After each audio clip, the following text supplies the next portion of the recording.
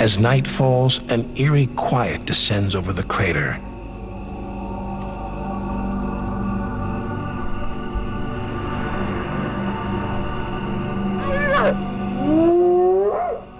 Then, the whooping of hyenas shatters the silence.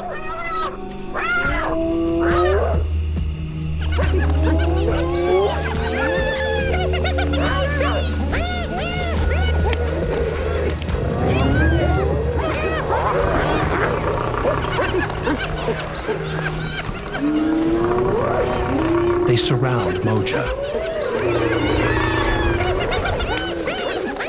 She summons the strength to face them.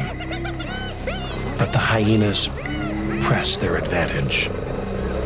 Moja was a great hunter. But now she's the hunted.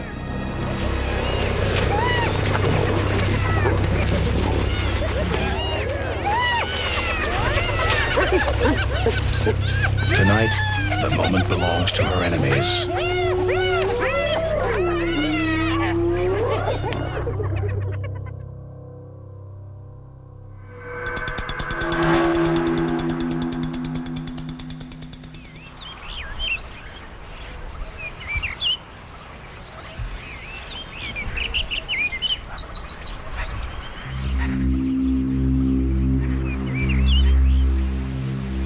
When morning comes, there is no sign of Moja.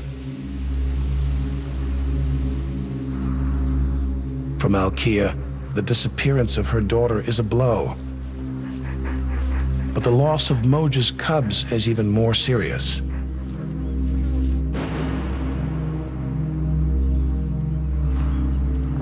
Cubs are a pride's future.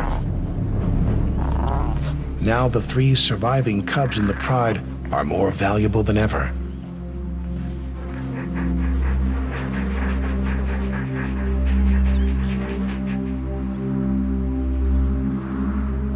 For the adults, it's been almost a week since they ate their fill.